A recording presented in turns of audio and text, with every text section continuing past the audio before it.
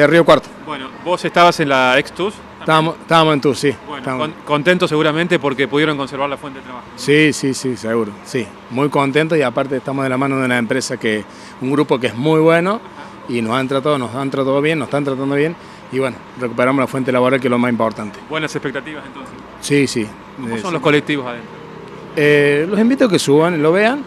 Muy nuevos, hay muchos cero kilómetros y los colectivos están en muy buen estado, son cómodos, están calentitos, en verano vamos a estar fresquitos, eh, muy buena tecnología.